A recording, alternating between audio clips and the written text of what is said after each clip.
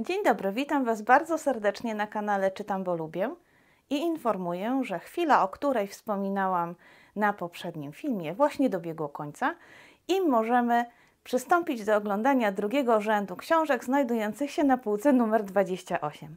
Zapraszam i życzę miłego odbioru. Moi drodzy, zaczynamy od tego, co znajduje się w głębi tej półki. Ja usunęłam pierwszy rząd i od razu oglądamy to, co znajduje się w rzędzie drugim. Zaczynamy od dwóch bardzo grubych książek, książek historycznych ze znaku horyzontu, tak nazywa się wydawnictwo. Pierwsza to Dziennik Diabła, Alfred Rosenberg, człowiek, oj przepraszam, nie było widać, człowiek, który stworzył Hitlera. Zobaczcie, potężna książka, prawdopodobnie opowiadająca o tym, jak Hitler doszedł do władzy i jakie mechanizmy socjotechniczne i jakie manipulacje pomogły mu w zawładnięciu całym narodem. Kolejna książka to Armagedon i Paranoja. Zimna wojna, nuklearna konfrontacja. Zobaczcie, ona jest jeszcze grubsza i ma tylko jedną małą wkładkę zdjęciową, także mnóstwo czytania. I powiem Wam, że ja lubię książki historyczne. Aczkolwiek one muszą być napisane takim przystępnym językiem. Wiecie, językiem dla zwykłego czytelnika, dla zwykłego człowieka, a nie dla historyka. Ponieważ ja aż tak dobra z historii nie jestem, chociaż kończyłam klasę humanistyczną i miałam tam rozszerzoną historię, to powiem Wam szczerze, że niewiele pamiętam. W ogóle i w szczególe. To jest książka, która była odwrócona grzbietem do tyłu, co oznacza, że została już przeze mnie przeczytana a przeczytałam już po tym, jak ta półka została dla mnie wybrana do czytania. Są to eseje poufałe, taki jest podtytuł Ann Fadiman. Świetne są te eseje, naprawdę cudnie się je czyta. Autorka porusza bardzo duże spektrum spraw, od kolekcjonerstwa poprzez flagę narodową, lody, przeprowadzkę, pocztę i naprawdę wiele, wiele innych rzeczy. Wydaje się, że to takie błahe sprawy, ale ona pisze o nich w sposób bardzo fascynujący, odnosząc się do wielu, wielu źródeł. Widać, że jest osobą bardzo oczytaną i bardzo inteligentną. Kolejna książka to Tokio, biografia, biografia miasta z serii Mundus, wydawnictwo Uniwersytetu Jagiellońskiego. Mnie za bardzo nie ciągnie w tamte rejony świata. Aczkolwiek obserwuję sobie na Instagramie taką panią, która jest Polką i mieszka właśnie w Tokio i trochę we mnie ona rozbudza takie zainteresowanie tą kulturą japońską oraz samym miastem. Kolejna książka to książka noblisty pod tytułem Foe. Noblista nazywa się J.M. Coetzee. Ja czytałam wiele jego książek. Tej akurat nie, ale mam wrażenie i po opisie, i po okładce, że jest to książka trochę od nosząca się do Robinsona Crusoe, tylko opowiedzianego w sposób współczesny. Kolejna książka odwrócona to Lida Aleksandra Jurewicza. Książka, która też została wydana całkiem niedawno przez takie wydawnictwo Latarnia, które pojawiło się i tak jak się pojawiło, tak szybko niestety zniknęło. Ja ją przeczytałam. Jest to książka opowiadająca o, o wsi, z dzieciństwa, wsi, która już praktycznie nie istnieje, którą spotkały różne losy nieprzyjemne. Bardzo sentymentalna opowieść. Jeżeli ktoś lubi, to myślę, że warto. Ian McEwan, kolejny, przetrwa, przetrzymać tę miłość. Tu mam takie stare wydanie. Ta książka była wydawana wielokrotnie. Czytałam bardzo dużo książek tego autora. Jego bardzo lubię. Większość jego powieści bardzo mi się podoba. Tej do tej pory nie przeczytałam ze względu na słowo miłość w tytule, bo wiecie, że ja tam książek o miłości to nie za bardzo. Ale mam nadzieję, że będzie ok. 7 zł kupiona z jakiejś wyprzedaży. Sandlerowa. Biografia Sandlerowej, Sandlerowa w ukryciu, taki ma podtytuł. Czytałam inną biografię Sandlerowej, tę, która została wydana przez wydawnictwo Marginesy. Tamta była bardziej książką ku czci. Ta, z tego co wiem, pokazuje Sandlerową w bardziej realistyczny sposób. Książka z zakładkami, czyli widać, że czytana. Y, rozmowa z Markiem Dyjakiem, polizany przez Boga. Ja bardzo lubię, jak Dyjak chrypi piosenki swoim charakterystycznym głosem. Ta rozmowa była bardzo ciekawa. Czytałam i ja, i mąż. Naprawdę nam się bardzo podobała.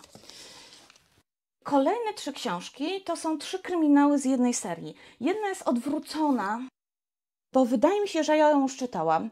Są to książki Wingfielda z serii Frost. I każda książka ma jeszcze podtytuł. Ta akurat ma Frost i zastraszone miasto. One są takie, zobaczcie, dosyć potężne. Powiem Wam tak, na pewno przeczytałam pierwszą część, być może przeczytałam też drugą. Wiem, że tych książek jest sześć, ja mam tylko pięć. Ta, piąta, ta ostatnia nie została wydana w tej serii, ona później została wydana przez jakieś inne wydawnictwo i ja jej nie kupiłam, jakoś ją przegapiłam.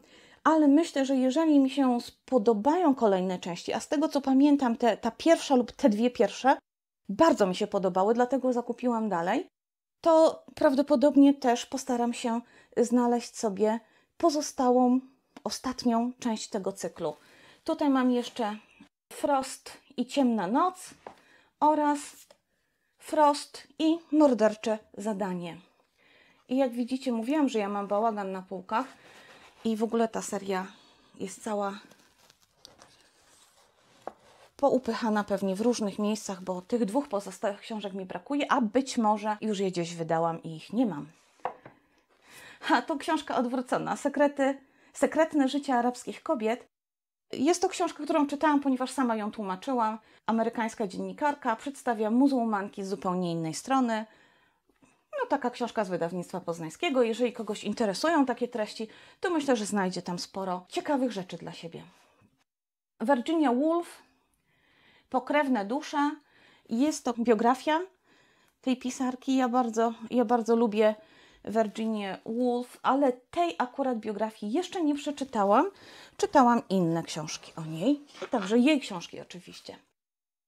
Tutaj książka, którą prawdopodobnie gdzieś kupiłam z jakiejś wyprzedaży, ponieważ miałam taką fazę, że kupowałam wszystko, co ukazało się w wydawnictwie czarnym. Tequila Oil, czyli jak się zgubić w Meksyku. Czyli książka o Meksyku. No może, mo, może to będzie ciekawe. Aczkolwiek y, to też nie są rejony świata, które są dla mnie w jakiś tam sposób atrakcyjne. Kolejna książka podróżnicza, podróżnicza transsyberyjska. Drogą żelazną przez Rosję i dalej. Piotra Milewskiego.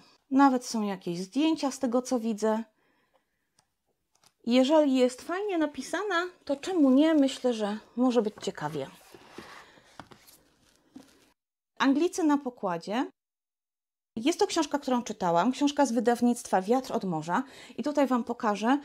Wydawnictwo Wiatr od Morza w taki przedziwny sposób oznacza egzemplarze, które są wysyłane do recenzentów. Otóż one tutaj na grzbiecie, zamiast tytułu i autora, mają napisane egzemplarz recenzencki, tekst przed ostateczną korektą, nie na sprzedaż. Nie, nie do końca mi to przeszkadza, aczkolwiek. Yy, kiedy one stoją na półce, to ja w zasadzie nie wiem, co mi tam stoi. Po pewnym czasie już zapominam, jaka ta, co to jest za książka i trzeba ją wyjmować i po prostu patrzeć. Anglicy na pokładzie to jest książka, która została przetłumaczona przez całą grupę tłumaczy. To jest lista tłumaczy, nie wiem, czy widzicie, takie dwie kolumny, ponieważ każdy bohater miał swojego tłumacza.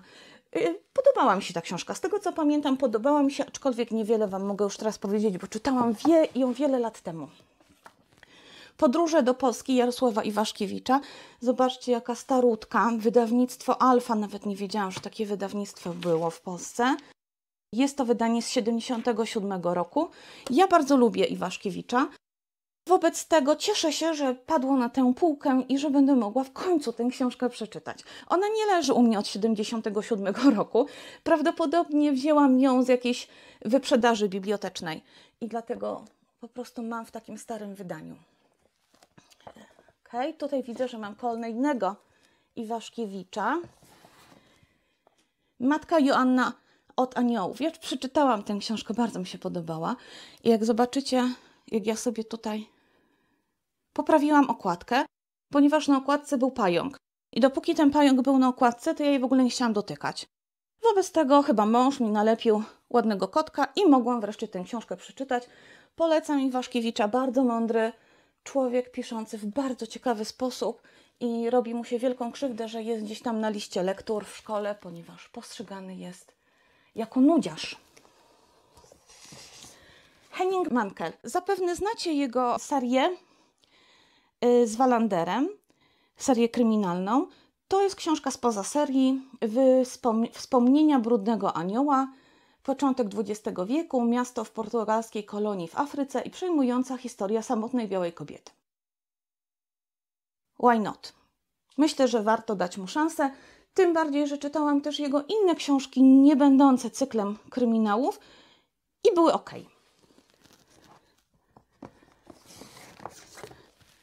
Ryszard Kapuściński, Rwący nurt historii, zapiski o XX i XXI wieku. Z tego co pamiętam, ja to czytałam, to są chyba zebrane różne artykuły Ryszarda Kapuścińskiego, zebrane w jednej książce. No, jego zawsze warto czytać, tak? To, to jest. Coś mi tutaj ostrość poszła. Jest to reporter, który potrafi doskonale pisać, potrafi zauważać i potrafi słuchać ludzi. I kolejna książka, i to naprawdę dla mnie wielka radość, że ona jest na tej półce i wreszcie zostałem zmuszona do jej przeczytania. Książka Nabokowa, ja bardzo lubię Nabokowa, jako, nie wiem, dwudziestolatka czytałam wszystko, co wpadło w moje ręce Nabokowa. Oczywiście łącznie z Lolitą, która jest bardzo kontrowersyjna, tę książkę akurat czytałam kilka razy, ale tutaj mam Ada albo Żar, to jest, zdaje się, książka o jakiejś jednej z pierwszych miłości Nabokowa. Pierwszy polski przekład, o zobaczcie. I oczywiście jej nie przeczytałam, dlatego że ona jest taka gruba.